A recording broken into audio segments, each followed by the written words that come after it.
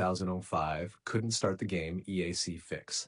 This error comes from Easy Anti-Cheat EAC when it can't start properly or detect required permissions files. 1. Repair Easy Anti-Cheat. 1. Go to your Arc Raiders installation folder. Example, you can see the code in our conversation history. 2. Run Easy Anti-Cheat Setup.exe. 3. Click Repair Service. 4. When it says Repair completed, close and restart your PC. 2. Delete EAC temporary files. 1. Press Win R, type. You can see the code in our conversation history. 2. Delete the Easy Anti-Cheat folder. 3. Relaunch Arc Raiders. The folder will regenerate fresh. 3. Run Arc Raiders and EAC as administrator. 1. Right-click arcraiders.exe, Properties Compatibility.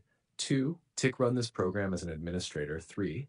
Do the same for easyanticheat.exe inside game folder. Headers 4.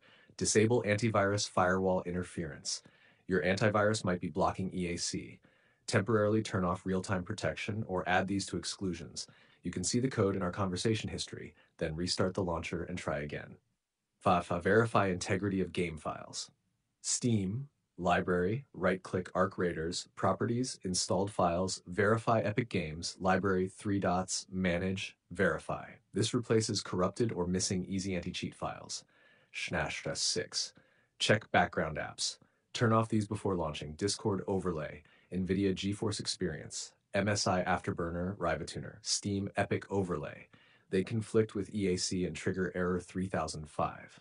7. Update Windows and GPU drivers. Install latest Windows updates. Update NVIDIA, AMD, Intel GPU drivers. Restart PC afterward. 8. Reinstall Easy Anti-Cheat, if still failing. 1. Uninstall Arc Raiders completely. 2. Delete leftover folders in. You can see the code in our conversation history. 3. Reinstall Arc Raiders clean. After fix, launch Arc Raiders. It should now load normally without the 3005 error.